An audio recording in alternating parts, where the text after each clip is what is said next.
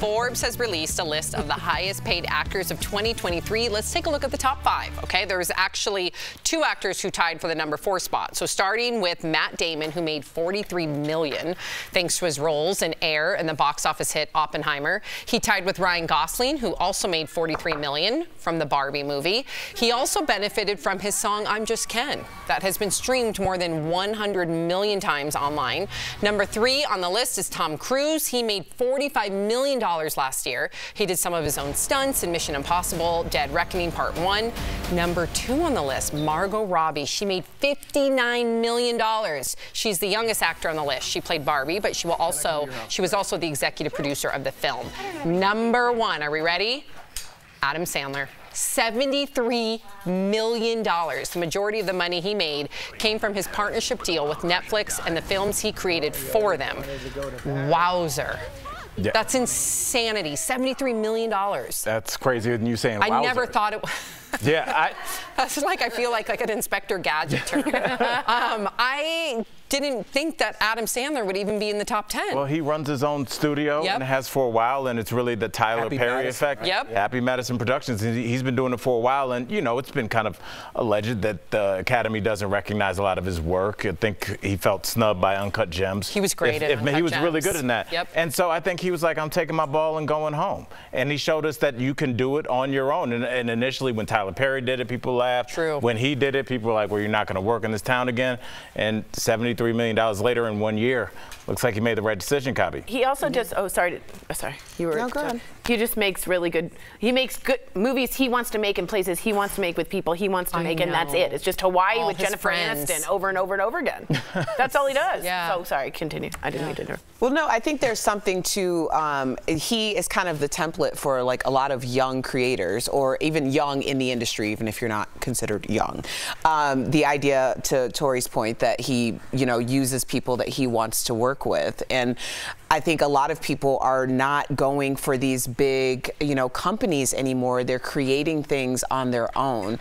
I do have to say, though, the discrepancy in terms of like having this conversation about Ryan Gosling, who a lot of people are like 100 million streams. I'm just going to say, I'm just Ken is an earworm. We, we just, we got to listen to it. I don't know. No, we don't. But it bothers, but the issue in the industry right now is you have like a Terrence Howard who has been around forever and he's fighting for money for rights for songs that he has, but his character was credited. Oh, so wow. it's like, uh, or Taraji P. Henson, mm -hmm. who mm -hmm. has mm-hmm. brought up the pay disparity when it comes to uh, black actresses yep. or any actors of color, particularly women.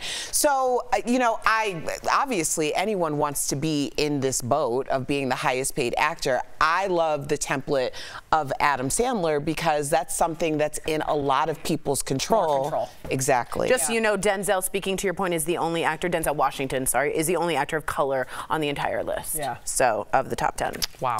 Mm. All right. Well, tomorrow is International Women's Day, and to celebrate, Barbie has added some new dolls to their role model collection. Women selected include Viola Davis. Not only is she an EGOT recipient, she also has a production company with her husband focused on giving a voice to the voiceless. JuVee Productions. There you go. Helen Mirren also chosen. Helen supports many organizations for women and children, and she was also the narrator in the Barbie movie. JuVee also Productions. No. That was her, too. also recognized Kylie Minogue. Her Barbie is dressed in red, paying homage to her costumes in the Padam Padam music video. And five-time Grammy winner Shania Twain posted a fun video with her Barbie reenacting a Ken scene from the Barbie movie. And this is more honorary, right? I think they're, ma they're yes, making one yes. Barbie. Yes, uh, Sam, I have information here on this card. The dolls are not for sale at all. They are only one of a kind. They are made only for the honored women. So Love no it. one can get to them. I like that though. It's almost like get they're to them. No, you can't own it's one. It's just right, but they're not them. precious jewels. Kind of, they are. No, but they are kind of. They're like collectible. No, yeah, they are. They're yeah. not precious jewels. There's one of a kind. Yeah, so they're one There's a lot of. I could make on, something at home this afternoon no, that's one of a kind. No, if that went on the auction block, I bet it'd get some money. I'm not saying that there's valueless. I'm just saying she used the big word. It's a it's a gem. It's a gem. That's what they are. Okay, it's a mm-hmm. gem. Shania I agree. Okay. All right, we got time for one more. Many highly accomplished women attended the Billboard Women in Music Awards last night in LA. Tracee Ellis Ross hosted the event that celebrated women in music across all genres. Some artists were honored with awards, including Australian singer Kylie Minogue, who won the Icon Award. But everyone is talking about the questionable fashion choices. Uh, uh-huh. Unfortunately, starting off with the host, Tracee Ellis Ross.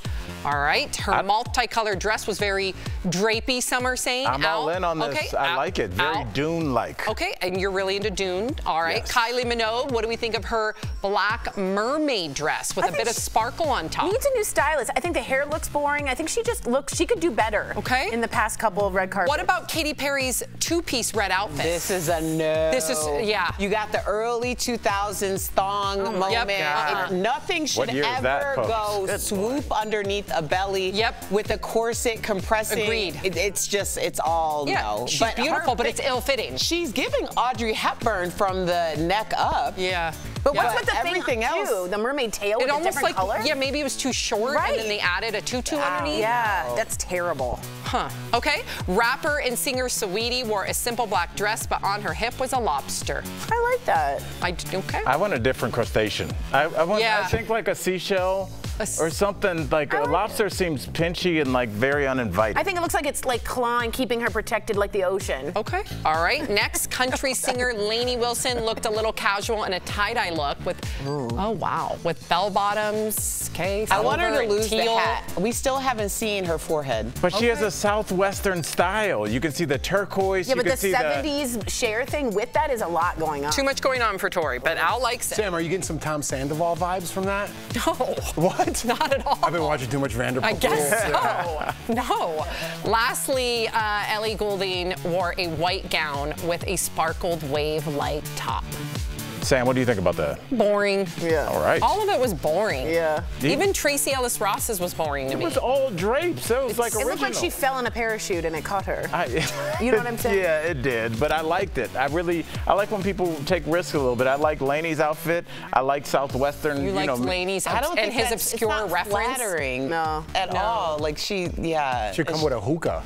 Yeah, it should. Does it look like a hookah Those line? are like the drapes you have to walk through to get to the hookah. Yeah, it yeah, totally yeah. does look like that.